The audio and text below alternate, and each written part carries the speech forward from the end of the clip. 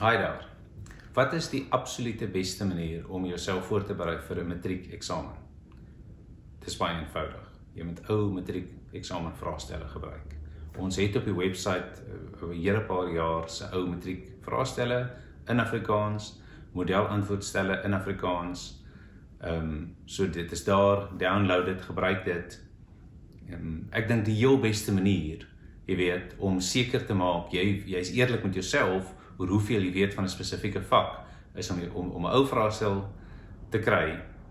Eh, dit help as jy twee of drie vriende het wat dit saam met jou doen, julle kan mekaar motiveer en julle julle kies 'n dag, julle gaan sit saam onder eksamenomstandighede, dit is stil.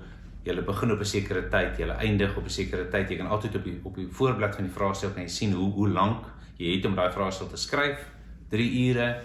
Jy begin, jy gee jouself 3 ure, na 3 ure stop jy. Ehm um, download die uh antwoordstel, merk dit en en daar's die werklike waarheid van hoeveel jy weet van daai vak. Ehm um, en ook natuurlik wat dit jou wys is die gedeeltes wat jy dalk nie besef jy mee sukkel nie. Nou sien jy jy sukkel met daai vrae in die vraestel en nou kan jy meer studietyd in daai uh gedeelte van die van die vak insit. Wat jy sal sien as jy ou eksamenvraestelle begin gebruik om jou voor te berei vir jou matriekeksamen is dat dis baie dieselfde.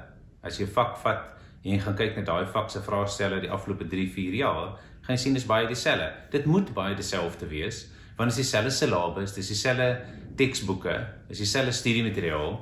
So daar jy weet, ehm um, en eksaminatore het maar dieselfde idee van watter gedeelte van die kursus belangrik is. Ehm um, so ek dink hoe meer ou vraestelle jy uitwerk, hoe minder vreesbevange is jy as jy gaan sit vir daai werklike finale eksamen. En ek gaan dink jy gaan kyk na daai vraestel wat jy die einde van die jaar kyk en dink, "O, dit dit dit lyk baie bekend." Ja, dit gaan bekend lyk. Want jy het 'n klomp werk ingesit in ou vraestelle en die nuwe vraestel is maar baie soos jou vraestel. Dankie.